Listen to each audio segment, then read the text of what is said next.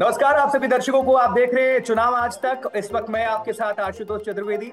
ये तो मेरी बात हो गई और चार और तस्वीर, चार और विंडो दिख रहे हैं। हमारे सारे सहयोगी देश भर के अलग अलग हिस्सों से दिख रहे हैं। चंडीगढ़ से सत्येंद्र चौहान आपको नज़र आ रहे हैं। आशीष श्रीवास्तव हमारे साथ उत्तर प्रदेश से जुड़ चुके हैं। पंकज जैन देश की राजधानी दिल्ली से जुड़ गए हैं और बिहार की राजधानी पटना से रोहित सिंह नज़र आ रहे हैं। स्टूडियो में बैठे इसलिए सबसे ज़्यादा चमक रहे हैं रोहित इस वक्त। नमस्ते। चलिए, शुरू करते हैं। और ये दर्शकों को जरा हम अपडेट कर दें कि चुनाव आज तक पर आशीष, रोहित, पंकज और सत्यन, एक ये कार्यक्रम हम शुरू कर रहे हैं। ये आज का ये पहला एपिसोड है और हमारा मकसद ये है कि अब देश में चुनाव होना है। जो भी हर राज्य से बड़ी खबर होगी, एक वीकली एक प्रोग्राम हम करेंगे अपने देश के सभी रिपोर्टर्स के साथ। तो उसकी शुरुआत हम आज आप सभी के साथ करने जा रहे हैं। और शुरुआत करते हैं चूँकि इंडिया गठबंधन की हम बात कर रहे हैं। बीजेपी के रथ को रोकना है नरेंद्र मोदी के को रोकना है उनके अभियान को रोकना है एनडीए को रोकना है तो इंडिया गठबंधन अलायंस करता है।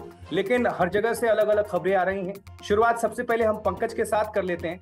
पंकज अभी हमारी थोड़ी देर पहले जो बात हो रही थी चैनल पर भी हम बात कर रहे थे जिस तरह से जो खबरें आई इंडिया अलायंस को लेकर आम आदमी पार्टी और कांग्रेस गठबंधन को तो तैयार हैं। सीटें भी ऑलमोस्ट फाइनल हो गई थी, चार तीन, लेकिन उसमें कहीं पेज फंसा हुआ नज़र आता है। वो क्या अंदरूनी सूत्र आपको बता रहे हैं? अभी क्या हलचल है इसको लेकर? देखिए, लगातार हम आम आदमी पार्टी नेताओं के संपर्क में हैं और जो जानकारी आज दोपहर में चुनाव आज तक को मिली, वो ये बताती है कि आज शाम को किसी भी वक्त कांग्रेस और आम आदमी पार्टी एक साझा प्रेस कॉन्फ्रेंस कर सकते हैं। इस प्रेस कॉन्फ्रेंस का मकसद होगा गठबंधन का ऐलान करना। लेकिन अभी भी दोनों जो पक्ष हैं, उनके बीच बातचीत हो रही है, क्योंकि इतना आसान नहीं है प्रेस कॉन्फ्रेंस करना। दिल्ली में ऐसी जगह ढूंढना जहाँ पर संयुक्त प्रेस कॉन्फ्रेंस हो चुके कौन से नेता करेंगे और नेताओं के नाम क्या होंगे, समय क्या होगा, उस समय पर नेताओं की उपलब्धता होगी या नहीं होगी, इसे लेकर फ़िलहाल मंथन जारी है। लेकिन जो अहम जानकारी है, दिल्ली यानी देश की राजधानी में सात लोकसभा सीटें हैं और इसमें से चार लोकसभा सीटों पर आम आदमी पार्टी चुनाव लड़ेगी तो वहीं तीन सीटों पर कांग्रेस को गठबंधन के लिए राज़ी किया गया है। ये तीन सीटें जो है, वो है चांदनी चौक और इसके अलावा नॉर्थ वेस्ट दिल्ली और इसके अलावा जो एक और अन्य सीट है वो भी यहाँ पर कांग्रेस को मिली है। तो हम आपको ये भी बता दें कि इस पूरे समीकरण के बीच में सिर्फ़ दिल्ली ही डील का हिस्सा नहीं रहा है। गोवा, गुजरात और उसके अलावा हरियाणा और चंडीगढ़ को भी इसमें शामिल किया गया है। ज़ाहिर है कि आम आदमी पार्टी हाँ, लगातार ये कोशिश कर रही थी कि तेज़ी से चर्चा हो और जल्द से जल्द इसकी घोषणा हो जाए। और आज भी जो हमारी पार्टी के नेताओं से बातचीत हुई वो बड़े आश्वस्त थे कि अब किसी भी तरह का पेच नहीं फंसा हुआ है और हम्म। जल्द ही हम इसकी घोषणा एक साथ मिलकर कर देंगे। पेच की जो आप बात कर रहे थे वो पेच दरअसल एक था गुजरात की भरूच सीट को लेकर जहाँ पर अहमद पटेल के परिवार से सीट देने की बात हो रही थी क्योंकि वहाँ पर आम आदमी पार्टी पहले ही अपना उम्मीदवार घोषित कर चुकी है चेतर वसावा जो कि जेल भी जा चुके हैं फ़िलहाल जेल से बाहर हैं और वहाँ पर आम आदमी पार्टी उन्हें बड़े उम्मीदवार के तौर पर देख रही है और जब आम आदमी पार्टी ने उनकी उम्मीदवारी घोषित की थी तो ये अपील की थी कांग्रेस से कि उन्हें ही गठबंधन का उम्मीदवार घोषित कर दिया जाए। वहीं दिल्ली में आपको ये कल तक हम जो जानकारी दे रहे थे कि जो चांदनी चौक लोकसभा सीट है और उसके अलावा जो ईस्ट दिल्ली की सीट है ईस्ट दिल्ली लोकसभा से कांग्रेस को ऑफ़र दिया गया है। लेकिन जो पेस था वो नॉर्थ वेस्ट सीट को लेकर भी था जो आज सुलझा लिया गया है। तो कहीं ना कहीं अब बातचीत फाइनल हो चुकी है। बातचीत फाइनल होने के बाद अब इंतज़ार किया जा रहा है कि प्रेस कॉन्फ्रेंस को क्या रूप दिया जाए किस जगह पर और कितने बजे ये प्रेस कॉन्फ्रेंस की जाए। तो हमें जो जानकारी मिली कि आज शाम तक हम्म। घोषणा हो जाएगी चाहे वो कांग्रेस की तरफ़ से हो या आम आदमी पार्टी की तरफ़ से हो वहाँ के सूत्रों ने ये जानकारी दी कि अब बस घोषणा होना बाकी है। जी। ठीक है पंकज जल्दी जल्दी सबसे एक हम दर्शकों को अपडेट करा देते हैं। चूँकि अब गठबंधन की बात हुई है और दिल्ली से आपने पूरी जानकारी दे दी उत्तर प्रदेश समाजवादी पार्टी और कांग्रेस में क्या चल रहा है? आशीष श्रीवास्तव बताएँगे। जी आशीष। देखिए आशुतोष ये अलायंस जो है समाजवादी पार्टी और कांग्रेस का तो हो गया है। और साफ़ तौर से ये कई दिनों से पेश फंसा हुआ था कि आखिर कितनी सीटों पर कांग्रेस लड़ेगी, क्योंकि कांग्रेस ने पहले 22 सीटों का एक आंकड़ा दिया था समाजवादी पार्टी को और ये कहा था कि हमको 22 सीटों पर लड़ना है। लेकिन समाजवादी पार्टी जैसे जैसे भारत जो न्याय यात्रा राहुल गांधी की आगे बढ़ रही थी उत्तर प्रदेश में वैसे वैसे वो अपनी लिस्ट जारी कर रहे थे। यानी कि अगर प्रतापगढ़ से भारत जोड़ो न्याय यात्रा निकलती है तो उसके बाद वो प्रतापगढ़ का कैंडिडेट उतार दे रहे थे। यानी कि अलायंस में पूरी बात बन ही नहीं पा रही थी। अब फाइनली जब बात बनी है तो साफ़ तौर से सत्रह सीटों पर जिस तरीके से कांग्रेस ने अब लड़ने की कवायद शुरू की है, और उसमें से महत्वपूर्ण सीटें जो थी वो उन्होंने बताया चाहे वो बनारस की सीट हो, सीतापुर की सीट है, या इसके अलावा, आप कह सकते हैं बाराबंकी की सीट है, वो ऐसी सीटें हैं जहाँ पर ये अपने बड़े एसेट उतारना चाहते हैं कांग्रेस के। जैसे कि प्रदेश अध्यक्ष खुद उनके बनारस से लड़ना चाहते हैं, प्रधानमंत्री मोदी के खिलाफ। तो ऐसे में अब जो अलायंस बना है, वो कितना मज़बूत रहेगा, ये बड़ा सवाल है। क्योंकि तिरसठ सीटें जो बची है जिसपे समाजवादी पार्टी लड़ेगी। और समाजवादी पार्टी क्योंकि क्षेत्रीय दल है उत्तर प्रदेश का और उसके पास कितनी कैपेसिटी में उसके एमपी जो है वो अपने जिता पाएगी ये भी बड़ा सवाल खड़ा होता है। क्योंकि राष्ट्रीय लोकदल के जाने से समाजवादी पार्टी को बहुत बड़ा लॉस हुआ है। राष्ट्रीय लोकदल पश्चिमी उत्तर प्रदेश का एक मज़बूत स्तंभ माना जाता था और वो अब कहीं ना कहीं बीजेपी के साथ में तो अब पश्चिमी उत्तर प्रदेश की वो सीटें जीत कर आना इंडिया अलायंस के लिए थोड़ा सा टफ होता गया है और कांग्रेस की अगर बात करें तो कांग्रेस ने पश्चिमी उत्तर प्रदेश से एक और दो ही सीटें ली है उसके बाद सारी सीटों की ज़िम्मेदारी समाजवादी पार्टी की है। और अगर इंडिया अलायंस का मैं टफनेस की बात करूँ कि कंपटीशन कितना टफ है तो आशीष अपनी बात यही से आप पूरी करिएगा दर्शकों को अपडेट करिएगा। शायद पंकज को प्रेस कॉन्फ्रेंस करने जाना है तो आखिरी हम सवाल इनसे ले लेते हैं।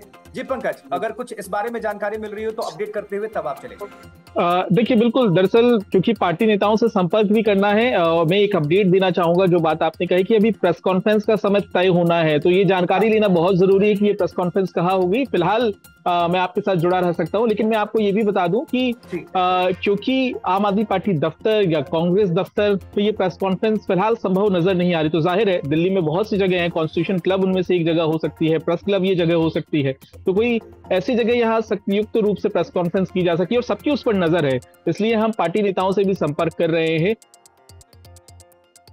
पंकज आपकी आवाज़ चली गई शायद म्यूट बटन दबा है। जी माफ़ कीजिएगा। तो हम पार्टी नेताओं से भी संपर्क कर रहे हैं कि कब आ, वो प्रेस कॉन्फ्रेंस करेंगे और जैसे ही समय पता चलता है क्योंकि पार्टी की तरफ़ से दोनों ही पार्टियों की तरफ़ से कौन से नेता होंगे इसे लेकर फ़िलहाल मंथन चल रहा है। जैसे ही पॉपअप हो आपके मोबाइल में मैसेज आए गिरे कि अब प्रेस कॉन्फ्रेंस कोई जानकारी मिलने वाली है तो आप लिंक कर दीजिएगा कोई बात नहीं दर्शकों को भी अपडेट कर दिया। और अगर समय हो तो जुड़े रहिएगा। आशीष जल्दी से आप अपनी बात पूरी कर लीजिए फिर हम पटना चलेंगे अपडेट लेंगे वहाँ पर तेजस्वी यादव और कांग्रेस को लेकर। और सत्येंद्र आपके पास लास्ट में आएँगे लेकिन इतमान से बिल्कुल आएँगे क्योंकि आप बहुत बड़ी जानकारी देंगे हर मामले पर क्योंकि प्रोटेस्ट को लेकर आपसे थोड़ा ज़्यादा सवाल होगा। इसलिए आखिर में जी, आशीष, बात पूरी करें। बिल्कुल, आशुतोष मैं बता रहा था आपको कि साफ़ तौर से बीएससी के होने इसको अब काफ़ी दिक्कतें उत्तर प्रदेश में होने वाली है। हालाँकि बीजेपी की साले अभी भी जो अलायंस है समाजवादी पार्टी और कांग्रेस का बहुत मज़बूत स्थिति में नहीं है जैसा उसको माना जाता है।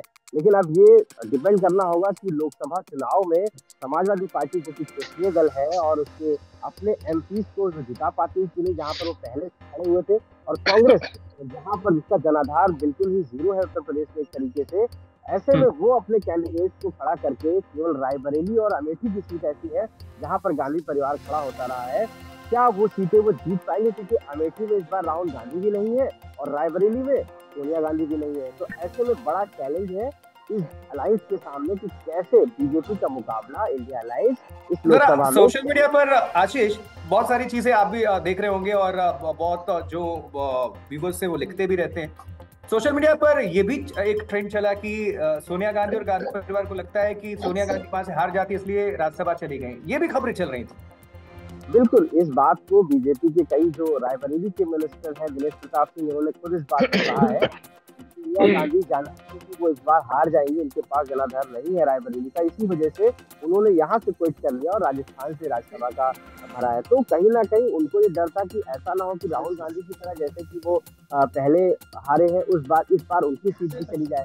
तो इस वजह से छोड़ी गई ये पूरी बीजेपी के सभी जो नेता हैं, वो कह रहे हैं और इस बात का क्लेम भी कर रहे हैं कि सोनिया गांधी डर के मारे उत्तर प्रदेश से अब चली गई। जैसे कि कांग्रेस के राहुल गांधी वायनाड चले गए थे, वैसे ही सोनिया गांधी राजस्थान चली गई। सवाल बहुत बड़ा है कि रायबरेली और अमेठी में आखिर गांधी परिवार से आएगा कोई या कोई और किसी को चेहरा दिया जाएगा? जी आशीष जुड़े रहिए। जल्दी जल्दी सभी हमारे जो सहयोगी हैं थोड़ा ज़्यादा इंतज़ार कर रहे हैं इसलिए अब उनका इंतज़ार तुरंत खत्म कर दिया जाए। रोहित मुझे अब ये समझाइए कि मुख्य तौर पर मान लिया जाए कि उत्तर प्रदेश में अखिलेश यादव दिल्ली पंजाब में आम आदमी पार्टी यानी अरविंद केजरीवाल और बिहार से तेजस्वी यादव। कांग्रेस के साथ यही मुख्य रूप से जुड़े हुए हैं और मज़बूत कंधे से कंधा मिलाकर, यानी एक दूसरे के पूरक, एक दूसरे के सहयोगी। और इंडिया गठबंधन इसी उम्मीद में है कि ये लोग साथ रहेंगे तो नरेंद्र मोदी को रोक लिया जाएगा। क्या आपको लगता है ऐसा संभव है? और दूसरी चीज़ कि दोनों अगर एक साथ बिहार में आते हैं तो कितना चैलेंज कितनी चुनौती दे पाएँगे नरेंद्र मोदी को, बीजेपी को, एनडीए को? आशुतोष, सबसे पहले ये समझ लीजिए, इंडिया गठबंधन नाम की चीज़ अब बिहार में नहीं बची है। हाँ। पिछले तीस सालों से आरजेडी और कांग्रेस अलायंस में है बिहार में। कोई नई चीज़ नहीं है ये लोग पिछले तीस साल से ही अलायंस में चल रहे हैं। जब भी चुनाव जीत लड़ते हैं साथ ही में चुनाव लड़ते हैं और आरजेडी के कारण ही एक कह सकते हैं कि कांग्रेस की हाल इतना इतना हालत खराब हो गई है कि एकदम बिल्कुल लगभग समाप्त सी हो गई है। तो कांग्रेस और आरजेडी का ये जो अलायंस है ये कोई नया नहीं है तीस सालों से बिहार में चलते आ रहा है। हाँ नीतीश कुमार अगर इसमें आ जाते हम्म। तो ये इंडिया अलायंस बन सकता था। क्योंकि नीतीश कुमार इसके सूत्रधार थे और एक व्यापक एक बड़ा गठबंधन बनता तो इसे हम इंडिया अलायंस कहते हैं। लेकिन रोहित कितना असर पड़ेगा नीतीश के नहीं होने से इस गठबंधन? भारतीय जनता पार्टी को कितना फ़ायदा होगा इससे 2019 का ही अगर दो दो दो हज़ार उन्नीस के ही अगर चुनाव नतीजे को देख लीजिए तो नीतीश और बीजेपी साथ लड़े और बात साथ में मांझी ये चिराग पासवान भी तो 40 में सैतालीस सीटें जीती। तो भाई, जो अब सामने दिख रहा है, वो हम उसी के आधार पर कह रहे हैं कि नीतीश का कहीं ना कहीं बीजेपी के लिए एक बहुत बड़ा एक मॉरल बूस्टर है। क्योंकि देखिए, जो हमें जानकारी मिली कि जो सूत्र बताते हैं कि बीजेपी को भी शायद लग रहा था कि अगर वो अकेले चुनाव लड़ेंगे तो शायद पंद्रह, बीस से ज़्यादा सीटें शायद ना जीत पाए बिहार में। ऐसे में नीतीश की ज़रूरत जो है, वो महसूस हुई। और उसके बाद ही ये पूरा खेल खेला गया। इस खेल में सब लोग का एक, एक तरीके से कहें तो फ़ायदा हो रहा था। बीजेपी को फ़ायदा हो रहा था कि नीतीश आएँगे तो उनका सीट संख्या जो है वो हो सकता है बत्तीस पैंतीस तक जा सकती है लोकसभा चुनाव में क्योंकि बीजेपी का सारा फोकस अभी सिर्फ़ लोकसभा चुनाव है। बीजेपी का भी और कुछ नहीं दिख रहा है। मैं बार बार कहता हूँ मछली की आँख की तरह जैसे होता है ना अर्जुन को सिर्फ़ मछली की आँख दिखती थी। तो बीजेपी को आज सिर्फ़ लोकसभा चुनाव दिख रहा है, किसी तरीके से मोदी को वापस लेके आना है तीसरी बार के लिए। तो ये कहीं ना कहीं मॉरल बूस्ट नीतीश को भी लगा कि भाई, उनको भी लगा हो कि शायद मोदी लहर है अभी देश में। ऐसा नहीं है, खासकर तीन विधानसभा चुनाव, एमपी, राजस्थान और छत्तीसगढ़ में जो नतीजे आए, उसके बाद नीतीश को भी शायद एहसास हुआ होगा कि भाई, मोदी लहर अभी समाप्त नहीं हुआ है। तो अगर वो मोदी के साथ चुनाव लड़ेंगे, बीजेपी के साथ चुनाव लड़ेंगे तो पिछले बार जो सोलह उनके सांसद जीत के आए थे वो परफॉर्मेंस वो रिपीट कर सकते हैं संभवतः। क्योंकि आरजेडी पिछले बार क्या कितनी सीटें आई थी? ज़ीरो एक भी सीट नहीं है आरजेडी खाता नहीं खुला था। तो बिल्कुल खाता ही नहीं खुला था। तो नीतीश भी शायद समझ रहे होंगे ना कि भाई आरजेडी के साथ रहने से अच्छा है कि उनकी संख्या आरजेडी की भी संख्या कम होगी उसके उसके कारण कहीं मुझे लगता है एक ही फ़ायदा होता हुआ दिख रहा है कि कांग्रेस पहले कम सीट सीटों को लेकर मशक्कत करती थी कि मुझे इतनी सीटें मिल जाए संतुष्टि हो जाएगी। अब शायद नीतीश कुमार नहीं रहेंगे तो ज़्यादा सीटें तो मिल जाएँगी। लेकिन इंपॉर्टेंट ये है सीटें मिलना प्रत्याशी उतारना नहीं। कितने सीटों पर आप विजयी आप अपने उम्मीदवार को कराते हैं ये महत्वपूर्ण है।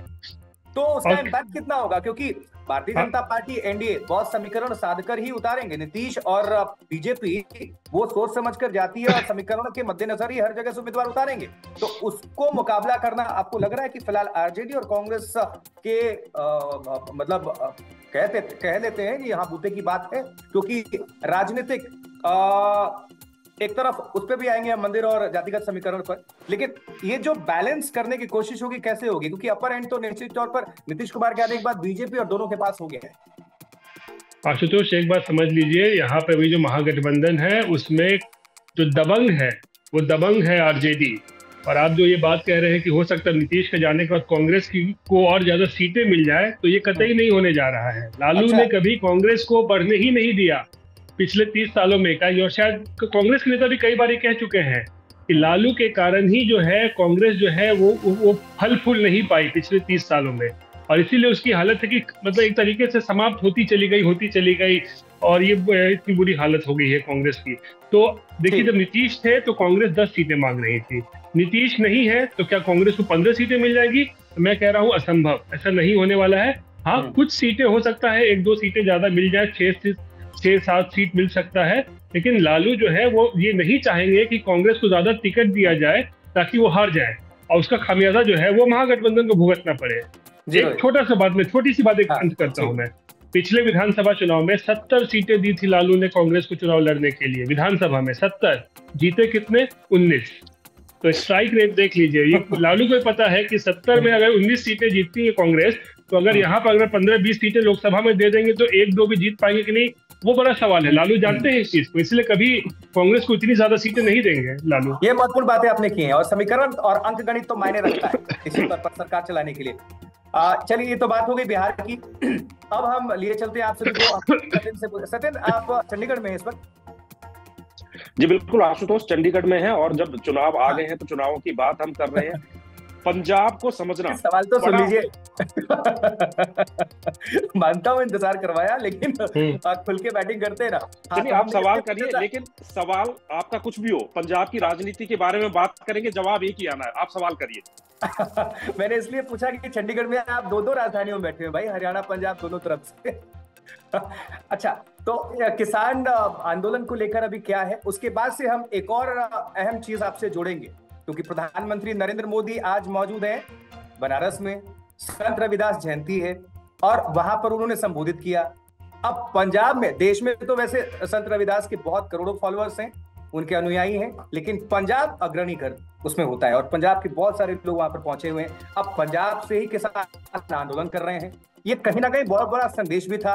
तो किसान आंदोलन से जोड़ते हुए इन दोनों जो एक प्रोटेस्ट और प्रधानमंत्री नरेंद्र मोदी की मौजूदगी और वहाँ पर जाना प्रतिमा का अनावरण करना ये किस तरह से आप पॉलिटिकल एक मैसेज के तौर पर देखते हैं? जरा दर्शकों को देखिए आज तो अंक गणित के हिसाब से आपको देखो अगर यहाँ से दो नंबर जा रहे हैं तो आपको दो नंबर की भरपाई करनी है। किसान आंदोलन है और कोई भी आंदोलन होता है वो सत्ता पक्ष के खिलाफ ही होता है हमेशा। और कृषि आंदोलन पंजाब में अगर चल रहा है लंबे समय से तो पंजाब का ज्योग्राफिकल कंडीशन आप देखें तो किसान बहुत बड़ी तादाद में है। तो ज़ाहिर सी बात है यहाँ पर एक बड़ा समुदाय भारतीय जनता पार्टी से नाराज़ है इसमें किसी तरह की कोई दो राय नहीं है। हम्म। लेकिन रविदासी समाज की बात करें तो किसान समुदाय के बाद रविदासी समाज तीसरे चौथे नंबर की पॉपुलेशन है पंजाब के अंदर। तो अब आपको भरपाई कहीं ना कहीं से करनी होगी। और वही प्रधानमंत्री मोदी कर रहे हैं कि आप इधर से निशाना ना साधे उधर से साधे। लेकिन जब चुनाव में उतरना है तो चुनाव में जन समर्थन तो आपको चाहिए ही। और जब आपको ये अं-, अंदेशा और अंदाज़ा हो गया है कि हम्म। किसान समुदाय आपसे नाराज़ है चाहे आप उनकी मांगे मान लें ना माने वो एक अलग चीज़ है। आंदोलन फेल होता है पास होता है वापस चला जाता है। तीनों ही सूरत में कहीं ना कहीं किसानों की नाराज़गी इस सरकार के साथ बनी हुई है। वो बहुत जल्द खत्म नहीं होगी। और क्योंकि अब चुनाव बिल्कुल पास है, समय बिल्कुल कम है तो ये प्रोटेस्ट आने वाले चुनाव में एक कहीं ना कहीं किसी ना किसी बड़े फैक्टर के रूप में हमेशा देखा जाएगा। ये तो थी आंदोलन की बात। अब आप दूसरा सवाल पूछिए। जी, और ये आंदोलन जो है, क्या आपको लगता है कि इसमें सिर्फ़ किसानों की मांग के अलावा थोड़ा और भी पॉलिटिकल मोटिव भी है? क्योंकि ये क्या लंबा खिंच सकता है? क्योंकि सरकार भी बातचीत तो कर रही है और एमएसपी से लेकर हर मामले में सकारात्मक बातचीत तो हो रही है, लेकिन उसको बताया जाता है किसान संगठनों की तरफ़ से असंतुष्ट रवैया। यानी कि वो जो चाह रहे हैं वो नहीं हो पा रहा तो क्या आपको लगता है ये इलेक्शन तक चलेगा? देखिए, आशुतोष पॉलिटिक्स में डेमोक्रेटिक सिस्टम में प्रेशर पॉलिटिक्स एक शब्द होता है। यानी कि जब चुनाव आते हैं तो हर तरह का संगठन सरकार के ऊपर प्रेशर बनाने का काम करता है कि उनकी सारी मांगे पूरी हो जाए। लेकिन सारी मांग कभी किसी की पूरी नहीं हो सकती। और चूँकि अब चुनावों का समय है तो राजनीति तो होनी है। विपक्ष को भी चुनाव तो लड़ना है ना। तो विपक्ष ने इस किसान आंदोलन को समर्थन दिया है।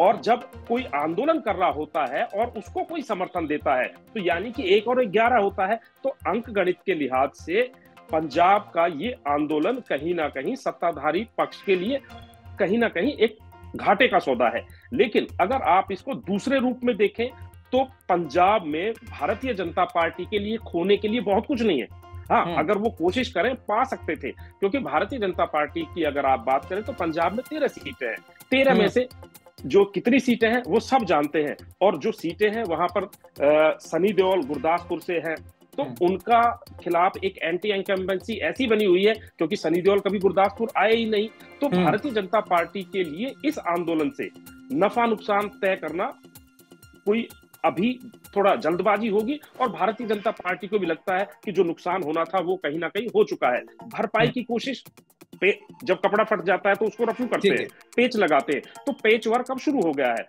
रविदासी समुदाय है और अन्य और समुदाय है। हो सकता है किसी ना किसी तरीके से उनको भी रिझाने की कोशिश पंजाब में की जाएगी। ठीक है सत्यम। बस एक सवाल आशीष से फिर उसके बाद से रोहित से अगला सवाल। आशीष पीएम वहाँ पर मौजूद चौदह हज़ार करोड़ रुपए की लागत से जो विकास परियोजनाएँ हैं वाराणसी काशी वासियों के लिए उत्तर प्रदेश के लोगों के लिए समर्पित किया उद्घाटन शिलान्यास किया। और कई कार्यक्रमों में उन्होंने शिरकत की। चुनाव से ठीक पहले काशी के सांसद वहाँ पर पहुँचते हैं तो ये कितना बड़ा मैसेज और लोगों को कितना कनेक्ट करती है और ये वोट बैंक में कितना तब्दील हो जाएगी? कितना महत्वपूर्ण दौरा हो जाता है प्रधानमंत्री का इस वक्त? देखिए, आशुतोष इससे पहले भी प्रधानमंत्री जब बनारस आए थे तो दो दिन के लिए आए तो उन्होंने कई योजनाओं का लोकार्पण किया था। और आज भी जब वो पहुँचे हैं, तब कई योजनाओं का लोकार्पण किया है। तो काशी में, यानी बनारस से जिनका कॉन्स्टिट्यूंसी भी है, जो उनकी, जहाँ से वो लड़के आए हैं, एमपी का, वो उनके लिए तो प्रधानमंत्री मोदी उनके सांसद हैं, उनके नेता हैं, उनके प्रधानमंत्री हैं।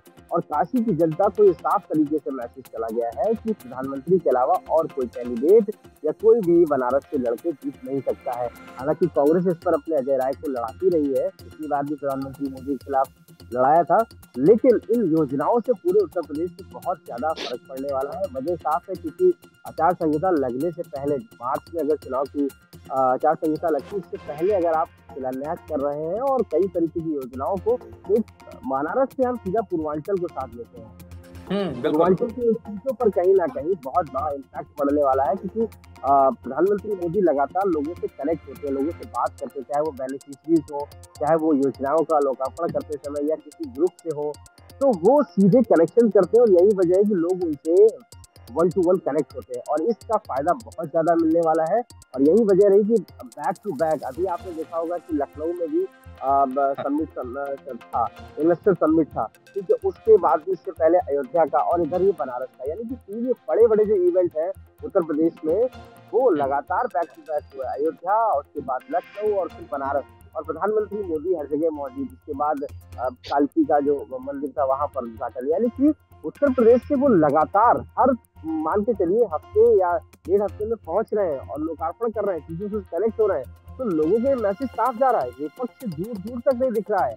विपक्ष के कई नेता नहीं पहुँच पा रहे हैं ऐसी जगहों पर, जहाँ उन्हें होना चाहिए। किसी मुद्दे को वो इतना नहीं उठा पा रहे हैं, जिस मुद्दे को उठाकर उन्हें बीजेपी को काउंटर करना चाहिए। तो ऐसे में अगर आप खुद आपके देश का प्रतिनिधि करने वाला प्रधानमंत्री पहुँचता है, वहाँ पर रिप्रेजेंट करता है तो ये अपने आप में ही बड़ी बात है और उत्तर प्रदेश में शर्तिया इसको कहीं ना कहीं बहुत फ़ायदा मिलने वाला है जो लोकसभा चुनाव होंगे और इसीलिए मोदी की गारंटी जो कहते हैं ना, वो शब्द चल रहा है और इसीलिए मोदी हर जगह मौजूद है और उत्तर प्रदेश में भी क्योंकि लोकसभा सबसे बड़ा यहाँ पर सीटें हैं अस्सी सीटें हैं और ऐसे में उनको मानना है कि अगर यहाँ से हम सत्तर से ऊपर सीटें जीत के आते हैं, लगभग पचहत्तर क्योंकि चार सौ का जो लक्ष्य है मोदी का, वो कहीं ना कहीं कंप्लीट तभी होगा जब उत्तर प्रदेश से एटलीस्ट पचहत्तर सीटें जीत कर लोकसभा में जाए। तो ऐसे में इन सीटों के लिए चाहे वो पूर्वांचल हो या पश्चिमांचल हो, उन सभी जगह प्रधानमंत्री मोदी खुद पहुँच रहे हैं, लोगों से कनेक्ट हो रहे हैं और ये मान के चलते हैं कि लोकसभा में बड़ी जीत दर्ज करने के लिए उनका उपस्थित रहना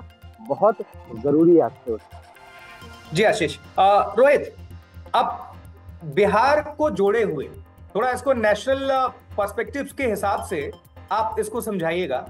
कि एक तरह से चुनाव, देखिए, गठबंधन तब होता है जब हमें लगता है, किसी से भी हम जब गठबंधन करते हैं अलायंस करते हैं तो लगता है कि हमारी जो ताकत है, अगर हमने अलायंस किया तो हम दोनों मिल जाएँगे तो ताकत हमारी और बढ़ जाएगी। और जब किसी का टारगेट ही है कि इनको रोकना है, यानी बीजेपी को रोकना है, नरेंद्र मोदी को रोकना है, एनडीए को रोकना है तो हम सारे मिल जाते हैं। अब जरा ये जो चुनाव है इस बार ऑल बनाम बीजेपी ऑल बनाम नरेंद्र मोदी अब मुझे ये समझाइए, जनता को ये समझाइए कि ये कितनी बड़ी ताकत है भारतीय जनता पार्टी के लिए कि बीजेपी अपने ही पिच पर सबको लाकर खड़ी कर दे रही है? यानी कि हर चुनावी भाषण में यही होगा कि मोदी को रोकने के लिए आप देख पा रहे हैं कि पूरा विपक्ष जम चुका है, जमावड़ा है।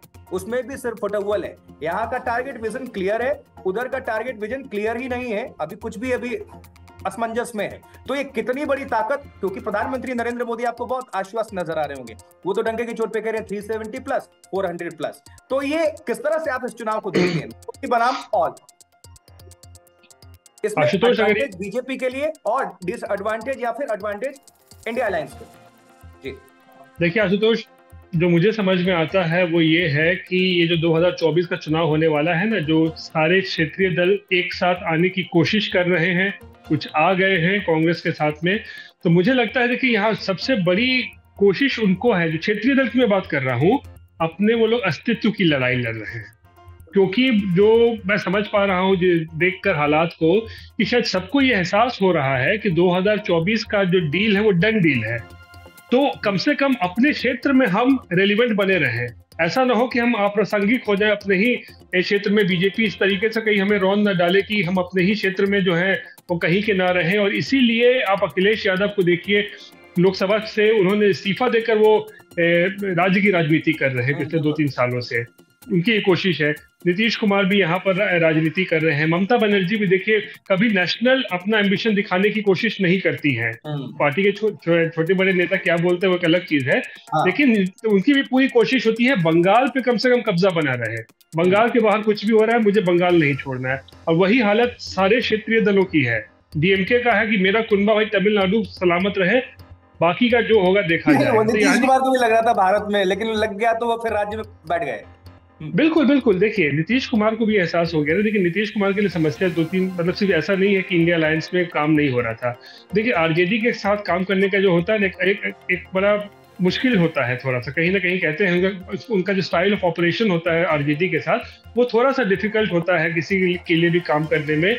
और इसीलिए नीतीश कुमार ने भी कहा कि भाई गड़बड़ हो रहा था जाँच होनी चाहिए। यानी कि वो इशारा कर रहे हैं कि भ्रष्टाचार हो रहा था। जो आरजेडी के विभाग में मंत्री थे, वो सब थे, भ्रष्टाचार हो रहा था। दूसरी बात है, तेजस्वी यादव को मुख्यमंत्री बनाओ। ये दबाव हमेशा नीतीश कुमार के सर पर रहे से कोई भी बयान दे देता था कि तेजस्वी को मुख्यमंत्री बनाइए। उसके बाद ये था कि नीतीश कुमार को कभी इंडिया गठबंधन में कन्वीनर के लिए लालू ने प्रोजेक्ट नहीं किया।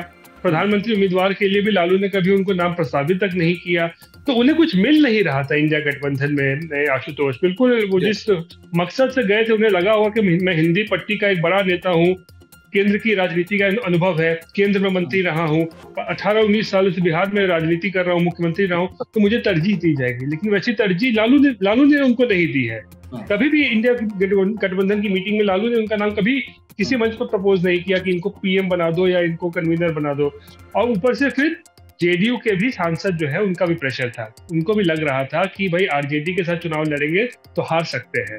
बीजेपी के साथ पूरा पुराने फॉर्मूले से चुनाव लड़ेंगे 2019 के फॉर्मूले से तो जीत हो सकती है। तो ये बहुत सारे फैक्टर्स जो है जिन्होंने काम किया जिसके बाद नीतीश इधर आए हैं। लेकिन जो मुझे लगता है कि जहाँ तक क्षेत्रीय दलों की मैं बात कर रहा था बीजेपी कहीं ना कहीं अपने जो आपने कहा अपने पिच पर बैटिंग कर रही है हम्म। और सबको उसी विकेट पे हम्म। लेकर आ भी रही है। तो ज़ाहिर सी बात है और सब जो है इस वक्त अपना कुंबा बचाने में लगे हुए हैं अपना। कम से कम हम अपने राज्य से अप्रासंगिक न हो जाए ये सबसे बड़ी चुनौती है क्षेत्रीय दलों के लिए। ठीक है। सत्यन चलते चलते आखिरी सवाल आप पर छोड़ करते हैं। नहीं नहीं देखिए आपने जिस तरीके से समय दिया है ना बिहार और यूपी में ज़्यादा सीटें तो उनको ज़्यादा समय दिया हमारे पास कम सीटें तो हमें कम समय मिला है। ज़्यादा समय दो आशुतोष ज़्यादा समय सत्येंद्र को अभी थोड़ा तो बोलने दो यार। हाँ आशीष आपत्ति तो नहीं। बिल्कुल आपत्ति नहीं जी बोलिए हाँ इस कार्यक्रम की खूबसूरती यही है। चुनाव आज तक पर ये अगर शुरू हुआ है तो कुछ थोड़ा सा भी मतलब बहुत वो ना सोचे कि हाँ पॉलिटिकल तो हम बात कर रहे हैं, लेकिन थोड़ा एंटरटेनिंग भी होना चाहिए। और यही चीज़ें हैं। चलिए सत्येंद्र लेकिन आपको हम उदास बिल्कुल नहीं छोड़ेंगे और हम आपकी नाराज़गी का शिकार नहीं होना चाहते। चलिए, ये मुझे बताइए कि अगर कांग्रेस और आम आदमी पार्टी ने डिसाइड किया है कि हम अलग अलग लड़ेंगे तो आखिर इसके पीछे की वजह क्या होगी? मतलब आम आदमी पार्टी को लगता है कि वो ज़्यादा सीटें ले, लेकर आएँगी? या कांग्रेस को लगता है कि हम ज़्यादा लेकर आ पाएँगे? या हमें कहीं नुकसान आ जाएगा तीसरी वजह जो हमें लगती है कि अलायंस तो हम कर ही रहे हैं अलग अलग लड़ लेते हैं। बाद में ज़रूरत पड़ी तो एक हो ही जाएँगे। देखिए, आपने बिल्कुल सही कहा और आप जोग्राफिकल कंडीशन समझिए। दिल्ली, चंडीगढ़, राजस्थान, पंजाब, चारों ये सीमाएँ चारों राज्यों की जुटी हुई है। दिल्ली हरियाणा में आपका समझौता हो रहा है चंडीगढ़ में समझौता हो रहा है पंजाब को आपने निकाल दिया है।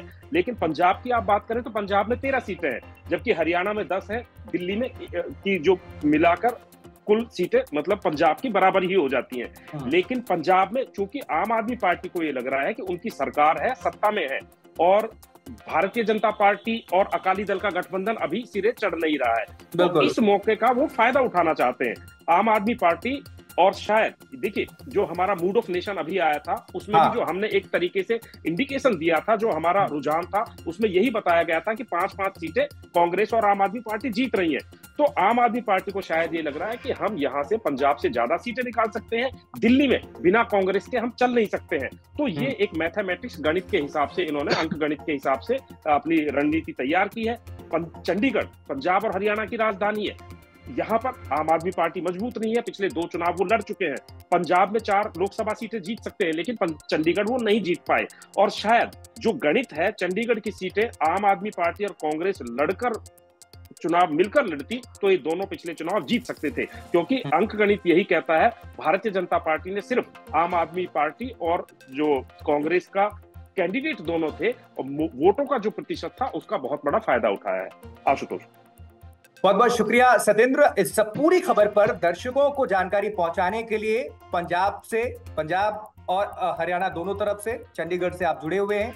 और आशीष श्रीवास्तव हमारे सहयोगी उत्तर प्रदेश से जुड़े हुए हैं। आशीष, आपका बहुत बहुत धन्यवाद। और बिहार की राजधानी पटना से रोहित सिंह जुड़े हुए हैं, जो आप सभी दर्शकों को वहाँ से और प्लस भारत के लिहाज से जो खबरें हैं, उसको विश्लेषण के ज़रिए आपको समझा रहे थे। रोहित, आपका बहुत बहुत धन्यवाद। और इसके पूर्व में पंकज जैन हमारे सहयोगी दिल्ली से जुड़े हुए थे। हमारे सभी सहयोगियों का बहुत बहुत धन्यवाद। और सबसे ज़्यादा धन्यवाद आप सभी दर्शकों का, जो इस कार्यक्रम का आप हिस्सा बने।